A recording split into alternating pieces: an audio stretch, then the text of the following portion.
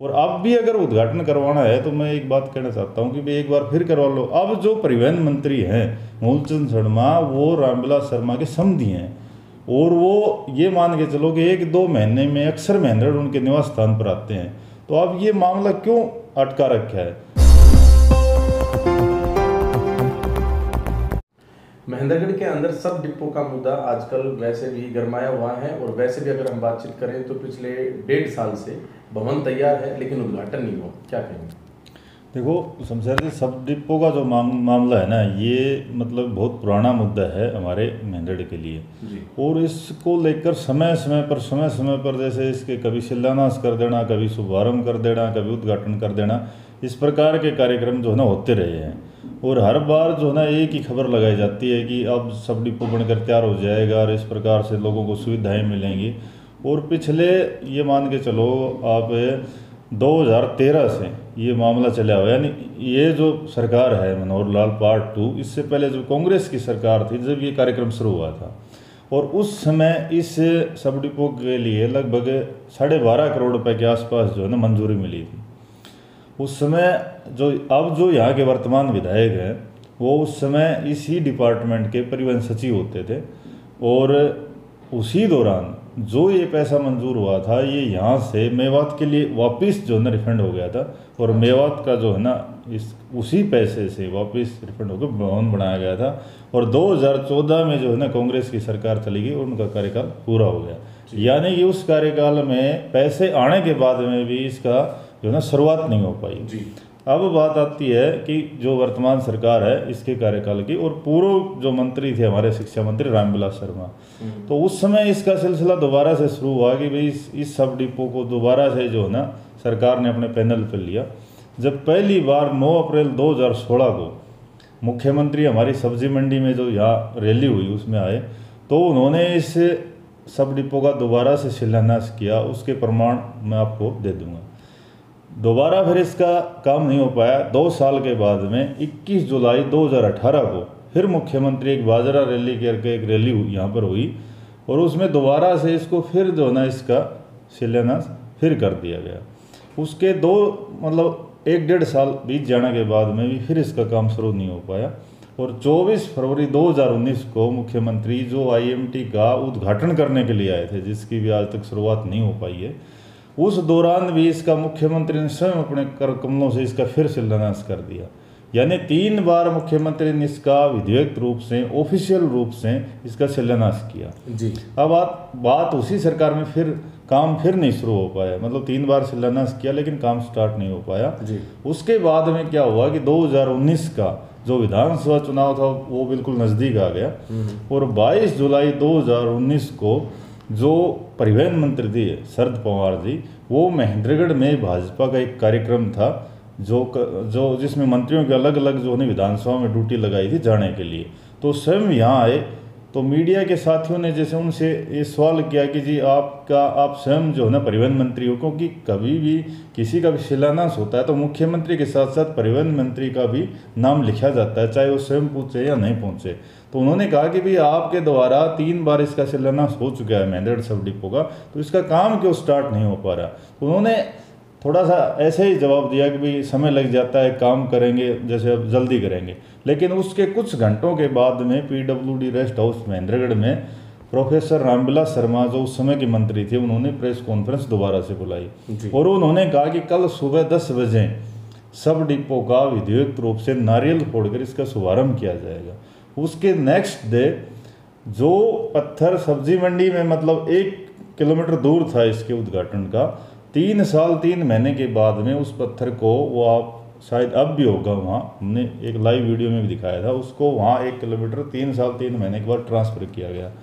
और इस चीज़ के भी प्रमाण आप दे दूँगा कि उस समय के परिवहन मंत्री ने इसका विधिवत रूप से शुभारंभ किया 22 जुलाई को। और उन्होंने कहा कि अब महेंद्रगढ़ जो सामान्य बस स्टैंड है, ये सामान्य बस स्टैंड न होकर अब इसको सब डिपो का जो है ना दर्जा दे दिया गया है। और एक दो बसों पर उस समय पेंट करवाकर सब डिपो महेंद्रगढ़ लिखा गया। उसके भी मैं आपको प्रमाण दूँगा। उसको विधिवत रूप से उन्होंने शुभारंभ किया। और जब सब डिपो बन जाता है तो टीएम यानी ट्रेवल मैनेजर की वह नियुक्ति होती है। तो उन्होंने उस समय अपने बयान में ये कहा था कि जो रितु शर्मा है, जिनकी रेवाड़ी पोस्टिंग है, वो कल से यहाँ एज ए टी एम यहाँ नियुक्त कर दी जाएँगी और कल से मेहनत सब डिपो का कार्यक्रम विधिवत रूप से शुभारंभ हो जाएगा। सभी बसें यहीं से चलेंगी मेहनत सब डिपो की बस मतलब यहाँ से चलेंगी मेहनत सब डिपो आज से ऑफिशियल लेवल से मेहनत मेहनत सब डिपो है। लेकिन उसके और इसका जो पैसा था, उन्होंने कहा कि जो सब डिपो तो का तो मतलब शुभारंभ कर दिया, लेकिन उसके बाद में कई बार क्या होता है कि जैसे किसी हम तहसील को सब डिवीज़न बना देते हैं, लेकिन उसका भवन नहीं होता। तो सरकार क्या करती है कि तब तक सब डिवीज़न के अधिकारियों को बैठा दो, काम यहाँ स्टार्ट हो जाएगा और भवन जो है ना, भवन के लिए हम पैसा देंगे बनकर बाद में तैयार हो जाएगा। तो उन्होंने कहा कि भाई इसमें चौदह, साढ़े चौदह करोड़ रुपए का जो लागत आएगी, वो बजट हम मंजूर कर देंगे। लेकिन आज से मतलब सब डिपो बन चुका है। सब डिपो का उन्होंने कहा कि अब कोई रोड़ा नहीं है, सिर्फ़ भवन का पैसा रिलीज़ किया जाएगा। उसके बाद में जैसे ये शिक्षा मंत्री रामविलास जी भी हार गए और वो परिवहन मंत्री जो थे, वो भी मतलब नहीं रहे उस विभाग में। उनको बाद में दोबारा से मतलब टिकट नहीं मिली। अब आ जाता है मनोहर लाल जैसे पार्ट टू का कार्यक्रम शुरू हो जाता है 2019 के बाद में, दोबारा से भाजपा सरकार बन जाती है। उसके बाद में इन्होंने वर्कशॉप के जो सवा छः करोड़ रुपये साढ़े छः करोड़ रुपये की जो अनुमानित लागत थी, वो पैसे रिलीज़ किए। और वो वर्कशॉप जो है ना मतलब बनकर तैयार हो गया और उसको भी बने हुए, ये मान के चलो कि दो साल के आसपास हो गए। लेकिन अब इस बात की चर्चा चल रही है कि भाई सब डिपो का जो शुभारंभ कोई मंत्री करे या मुख्यमंत्री करे तो मैं एक बात कहना चाहता हूँ कि मुख्यमंत्री स्वयं अपने हाथों से तीन बार इसका शिलान्यास ऑलरेडी कर चुके हैं और जब किसी संस्था का शुभारंभ हो चुका है तो ये तो एक भवन की ओपनिंग करनी है जो वर्कशॉप का है हम्म। और इसमें भी बताया जा रहा है कि ये जो जैसे इसमें टैंक होता है पेट्रोल पंप होता है हम्म। सरकारी वो वहाँ होता है गाड़ियों में तेल डालने के लिए और गाड़ियों का वहाँ काम होता है तो कह रहे हैं कि उसकी वजह से लंबित है जबकि ऐसी बात नहीं है कि अब सरकार ने ये आदेश कर दिया कि अब सब डिपो पे जो है ना पेट्रोल या मतलब डीजल लेने की ज़रूरत नहीं है। अब गवर्नमेंट ने ये कर रखा है कि भी कोई भी नज़दीक पे, पेट्रोल पंप जो भी है उसको अथोराइज कर दिया जाता है और वहाँ से डीजल इन गाड़ियों में डलवाया जाता है। ऐसा नहीं है कि भी उसकी वजह से लंबित है। अब ये कह रहे हैं कि भाई इसका जो शुभारंभ किया जाए तो शुभारंभ तो मैं ये कहना चाहता हूँ कि इसका 22 जुलाई 2019 को ऑलरेडी हो चुका है और ये उन्होंने ऑफ़िस लेवल से किया था। लेकिन ये ऐसे कैसे हो गया कि उन्होंने शुभारंभ कर दिया? और आज भी अगर हम बोर्ड पढ़ेंगे तो सामान्य बस स्टैंड मैंड्रेड का है आपने भी पढ़ा होगा। तो ये तो इसका मतलब तो ये हुआ कि सरकार सिर्फ़ गुमराह कर रही है। ये अब कैसे माना जाएगा कि भाई अब भी ये जो मतलब ये वर्कशॉप की जो बिल्डिंग है इसका हम्म। शुभारंभ हो गया हम्म। तो ये कैसे अथोराइज होगा कि भाई ये सब डिपो है हम्म। सब डिपो तो जब अथोराइज होगा ना जब यहाँ अधिकारी बैठने लगे इसके नाम से बस चलने लगे तो ये मतलब एक असमंजस यहाँ के लोगों में बना हुआ है कि भाई ये जो बिल्डिंग है ये सब डिपो की है और इसका शुभारंभ नहीं किया जा रहा लेकिन सब डिपो का शुभारंभ तो ऑलरेडी हो चुका है और उस समय के परिवहन मंत्री कर चुके हैं, लेकिन उसके बाद में कोई एक्शन नहीं हुआ। न तो यहाँ कोई अधिकारी बैठा, न कोई बसों पे जैसे प्रिंट करवाया गया और न स्पेशल बसें चली। और आज जो मांग करी जा रही है कि भी इसका जो है उद्घाटन करा जाए, इसकी स्टार्टिंग करी जाए तो ये ऐसा नहीं है। और अब भी अगर उद्घाटन करवाना है तो मैं एक बात कहना चाहता हूँ कि भाई एक बार फिर करवा लो। अब जो परिवहन मंत्री हैं, मूलचंद शर्मा, वो रामविलास शर्मा के समधी हैं। और वो ये मान के चलो कि एक दो महीने में, अक्सर महेंद्र उनके निवास स्थान पर आते हैं। तो अब ये मामला क्यों अटका रखा है कि भाई उनका स्वयं का जो है ना, परिवहन मंत्री है, और पैसा भी पूरा नहीं दिया, इसमें सिर्फ़ छः करोड़ रुपये दिए वर्कशॉप के। जो सब डिपो का जो बिल्डिंग बननी थी, उसका पैसा रिलीज़ नहीं किया गया। बाकी जो ऑफ़िस बननी उनका पैसा रिलीज़ नहीं किया गया। ये तो एक महेंद्र की जनता को मतलब गुमराह किया जा रहा है। और लोगों को ये पता नहीं कि भाई ये सब डिपो है या सामान्य बस स्टैंड है, लोगों में एक असमंजस पैदा कर खैर बार बार अखबारों में भी अगर पीछे से लेकर लास्ट तक की आप अखबारों की कटिंग पढ़ेंगे तो उनसे भी एक असमंजस पैदा हो जाता है। क्योंकि उस समय ये कह दिया गया था कि भाई ये सब डिपो का शुभारंभ हो गया। अब ये कहा जा रहा है कि भाई सब डिपो का जो है ना, ये इस बिल्डिंग का अगर शुभारंभ हो जाए तो सब डिपो बने। मतलब जो मेरे कहने का तात्पर्य ये है कि यहाँ के लोगों को सब डिपो के नाम से पिछले मतलब आठ दस साल से सिर्फ़ गुमराह किया जा रहा है। तो ये सब महेंद्रगढ़ में ही क्यों देखने को मिलता है? कभी सड़क की बात आए तो सड़क नहीं है या फिर कुछ अन्य जो चीज़ें हैं, जैसे स्टेडियम या और अन्य चीज़ें हैं, स्विमिंग पूल, ये सभी चीज़ों में किसी में पानी नहीं है, किसी में ग्राउंड प्रॉपर से मेंटेन नहीं है, कहीं पर सड़क नहीं है। सभी विकास के मुद्दे जो हैं, आज भी जो है महेंद्रगढ़ के अंदर संघर्ष हमें करना पड़ रहा है। क्यों? देखो, इसके दो मुख्यतः दो कारण हैं। एक तो जो है ना, कमज़ोर प्रतिनिधि। मतलब सत्ता पक्ष का व्यक्ति भी कमज़ोर होना और विपक्ष का भी कमज़ोर होना। क्योंकि लोकतंत्र में विपक्ष का मज़बूत होना बहुत ज़रूरी है। क्योंकि विपक्ष जो सरकार की जो कमियाँ हैं, उनको अगर हम समय समय पर सरकार के सामने या प्रशासन के सामने नहीं रखेंगे तो क्या होता है कि जो आम वोटर है, आमजन है, उनको ये पता ही नहीं चलता कि भाई ये संस्था है क्या? इसमें टेक्निकल कमी रह क्या गई है? इसकी ओपनिंग हो क्यों नहीं पा रही है? तो विपक्ष इन चीज़ों को आमजन तक पहुँचाने में, बताने में और समझाने में बिल्कुल नाकाम है विपक्ष का नेता। और दूसरी बात यह है कि जब आमजन तक वो बात नहीं पहुँच पा रही तो सत्ता पक्ष का नेता क्या करता है कि वो कह देता है कि हमने शिलान्यास कर लिया। तो आमजन, मेहनत का एक तो वैसे लोग बहुत शरीफ है, वो ये मान लेते हैं कि भाई इसका शुभारंभ हो गया, यहाँ के पूर्व के मंत्री ने या उस समय के मंत्री ने कह दिया तो ठीक ही कहा है। क्योंकि उस चीज़ को विपक्ष समझा नहीं पा रहा। अगर विपक्ष समय समय पर इन बातों को समझाए, तब आमजन को ये पता चले कि भाई इस प्रकार की जो कमियाँ हैं और इस इस वजह से जो है ना बेवकूफ़ बनाया जा रहा है। लेकिन विपक्ष से इसलिए नहीं समझा पा रहा है क्योंकि उनके स्वयं के कार्यकाल के दौरान उन्होंने भी खुद जनता को बेवकूफ़ बनाया है। तो ये मतलब कहने का मतलब ये है कि पक्ष विपक्ष में दोनों में कमियाँ हैं और इसलिए न तो विपक्ष उजागर करना चाह रहा और सत्ता पक्ष जो अपनी तरफ़ से जो बयान दे देता है उसी को मीडिया में छाप लिया जाता है वही बात जो है ना मान ली जाती है। अभी जैसे आप वाली बात में बात करूँ तो अभी दो तीन दिन पहले की बात है। यहाँ के पूर्व शिक्षा मंत्री रामविलास शर्मा ने अखबार में एक न्यूज़ लगवाई, पुरानी फ़ोटो लगाकर। वो मैंने फ़ोटो सोशल मीडिया पे भी डाली थी कि कुछ दिन पहले 10 मार्च को जब चार राज्यों में भाजपा की सरकार बनी तो उन्होंने जो ना मुख्यमंत्री को मिठाई खिलाई थी और उसी फ़ोटो को कुछ दिन के बाद में अपडेट कर दिया गया कि आईएमटी का जो है ना बारह सौ एकड़ में प्रावधान किया गया है बजट में, और उसके लिए शिक्षा मंत्री ने मुख्यमंत्री का धन्यवाद किया। और सारी मीडिया प्रिंट मीडिया में, वो सारे अखबारों में वो खबर छपी।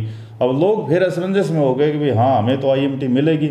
लेकिन पूरे बजट में, अब टोटली बजट उस पर पढ़ो, उस बजट में कहीं भी आईएमटी का कोई ज़िक्र नहीं है। लेकिन विपक्ष उस बात को उजागर नहीं करता, क्योंकि विपक्ष ने भी तो जो है ना, दस साल तक आईएमटी के नाम पर लोगों को बेवकूफ़ बनाया था।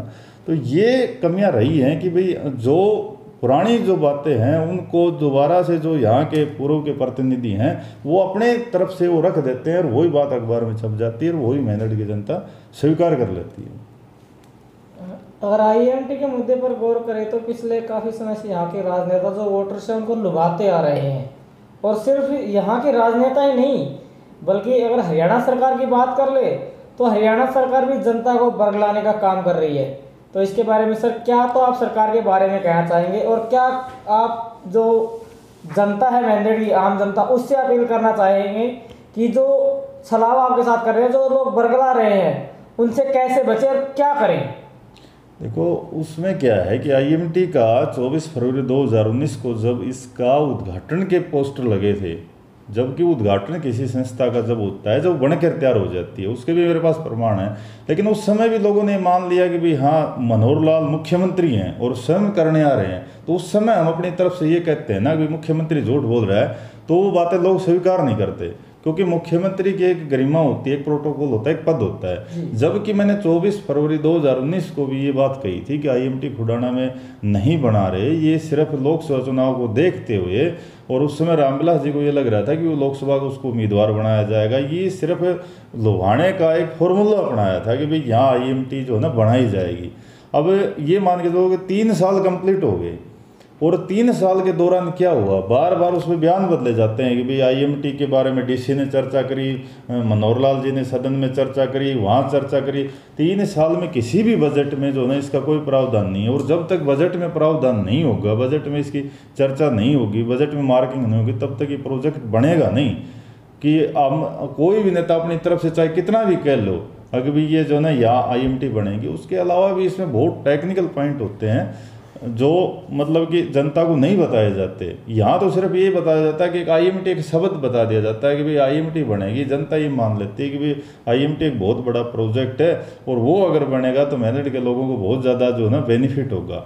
तो ये इसलिए लोग स्वीकार कर लेते हैं क्योंकि इतने बड़े पद पर जब मुख्यमंत्री लेवल का आदमी अगर झूठ बोल देगा तो उसमें फिर जनता को मानना पड़ जाता है भाई इतने बड़े जो उसकी गरिमा है, अगर वो उद्घाटन कर रहा है तो कोई ना कोई बात ज़रूर होगी।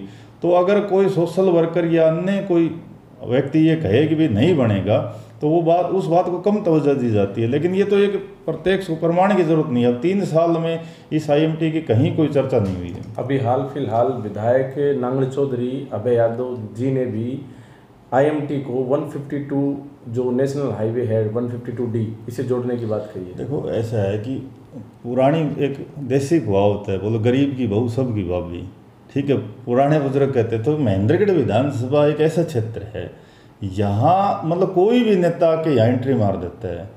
मतलब यहाँ मैं आपको बताऊँ कि पिछले मई में अपने इस सड़क मार्ग की जब दादरी नारनौल की घोषणा हुई तो उस समय की मैं अखबारों की कटिंग आपको दिखाऊँ तो इतनी ज़्यादा हो जाएँगी। उस समय उस सड़क मार्ग को सरे लेने के लिए नांगल चौधरी से लेकर और चंडीगढ़ तक के जितने भी नेता हैं पक्ष विपक्ष के उन्होंने सबने ये कहा कि भाई ये हमारी वजह से सड़क बनी है, लेकिन क्या आज तक सड़क बनी?